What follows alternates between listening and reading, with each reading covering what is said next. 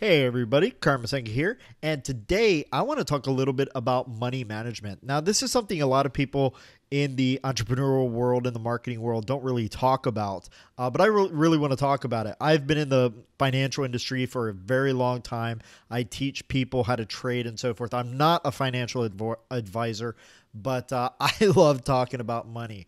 Um, I, I, I really enjoy money.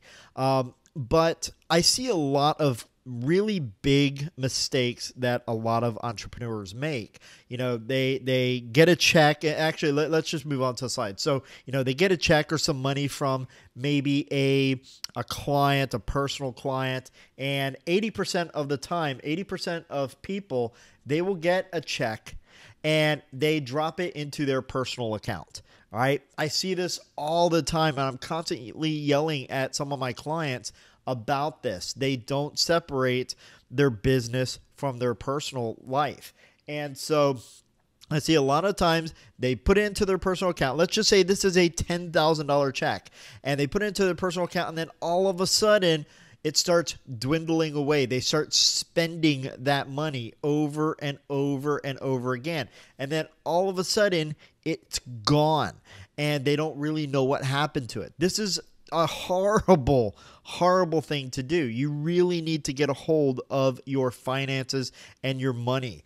So, I want to talk a little bit about what I do. Now, first thing first, I want to give a big warning here. All right. I am not a registered investment advisor. I'm not a lawyer. I'm not an accountant. This is just, I'm just going to share what I personally do, what has made me so much money and, and kept so much money in my accounts.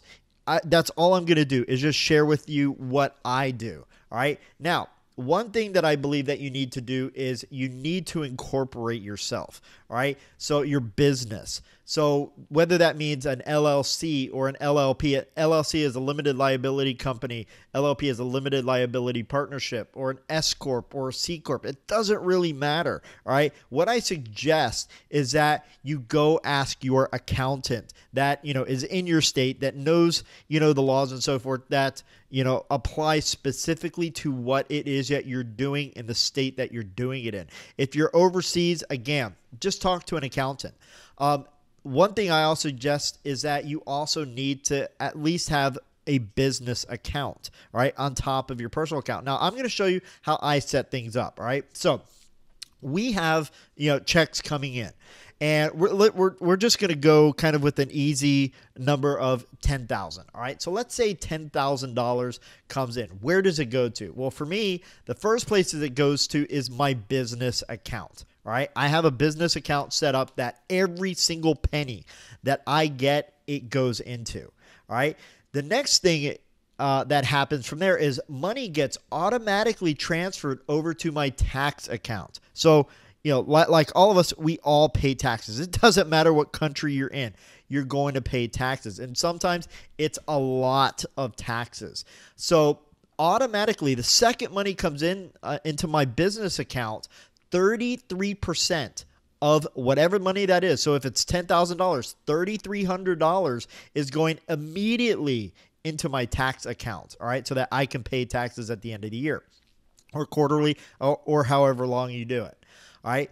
The next thing is that I have business expenses as well. So 33% of that $10,000, so another $3,300 is going to stay in my business account. Now, I don't have a separate uh, account for business expenses. I'm just showing that, you know, for business expenses, 33% of that will stay into my business account. Right Now, after that, I have a account which I call my financial hub. Right, And in the financial hub, 34% of everything that comes in, so in this case, $3,400 goes into my financial hub. All right. And we're, we're going to expand on this in a second. All right. But as you can see right then and there, all $10,000 is accounted for. $3,300 is going to, into the tax account. $3,300 is staying in the business account for business expenses. And then 34% is going into my financial hub. Now, of that 34% in my financial hub, some of it is going to go, of course, to home expenses. And for me, this is going to be 50% of that 34%. So if, if, you know, that 34% is $3,400, $1,700 of the total $10,000 that came in is going toward my home expenses. All right. Then I also have a vacation account. I really, really love vacations. Uh, I love traveling, uh, going to different countries and spending time with my family, you know, cuddling with my wife and my daughter and, and you know, my, my two boys on the beach in Hawaii is just like, you know, a great idea for me. You know, jumping on the plane and just going somewhere. Right. So, you know, uh, I have a vacation account, and for me, twenty percent of everything uh, of that thirty four percent goes into my vacation amount. So, you know, all in all, of the ten thousand dollars that originally came in, six hundred and eighty dollars is going to that vacation account. All right. Now, my next account that I have is my market uh, you know, because I do a lot of trading in the markets uh, and then real estate as well.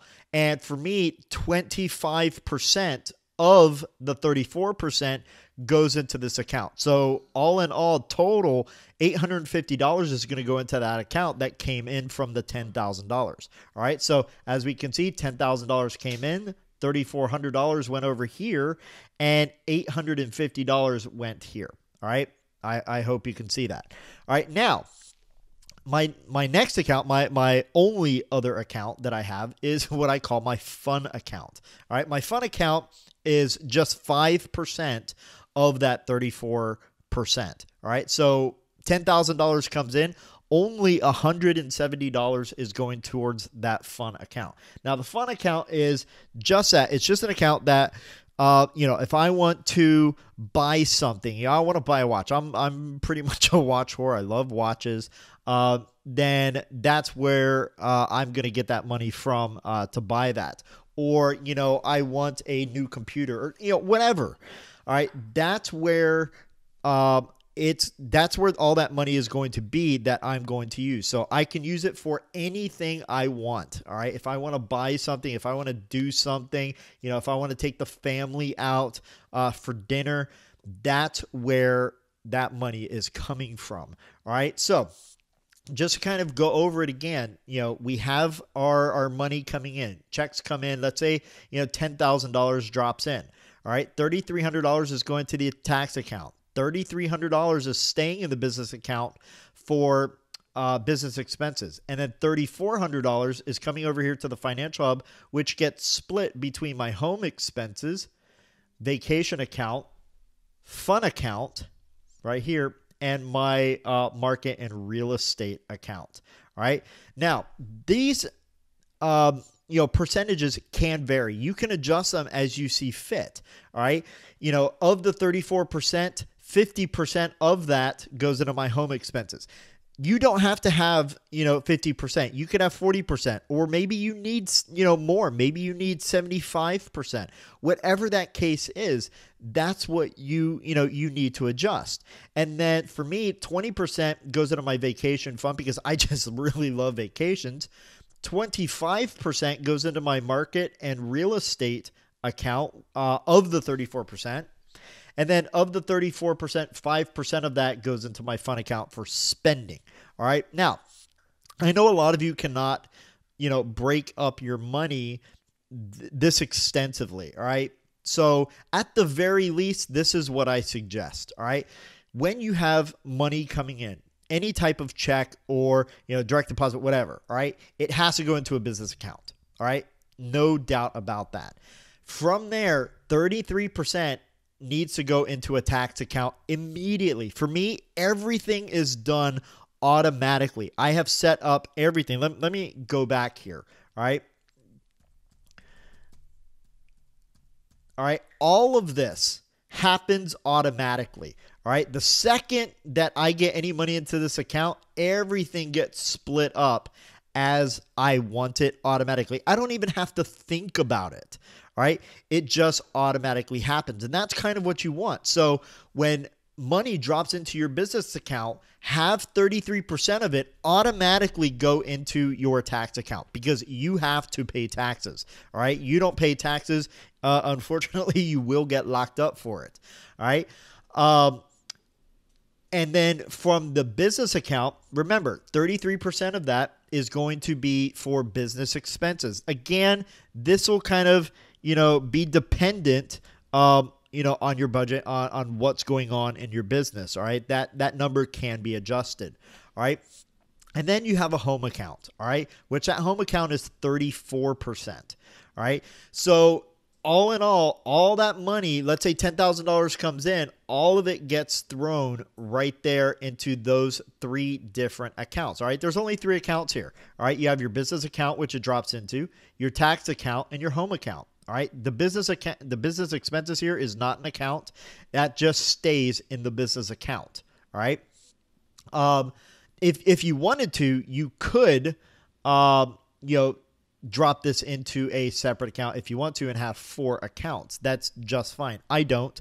Uh, but that's actually what happens. And then, of course, everything else goes into your home account. And you can split this up as you want. You can, you know, subdivide it as you see fit, invest in what you want, whatever. This is the way the wealthy run their money. All right. It is a system, and you have to use a system with absolutely everything you do if you want to be successful. You know, I know a lot of you marketers out there, you know, you have a system and a plan and a funnel for every little damn thing in your business, but yet you're still screwing with your money.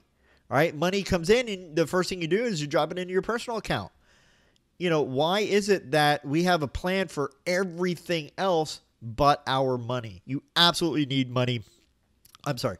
You absolutely need to have a plan for your money. And right now, I'm just giving you the plan that has worked for me and just sharing it with you so that you can see what I do, all right, how my money is managed. And uh, that's pretty much all I've got for you guys today is just, you know, a little bit uh, on inside on what I do. So if you have any questions, leave a comment below this video, uh, and I will get back with you, you know, as soon as I can.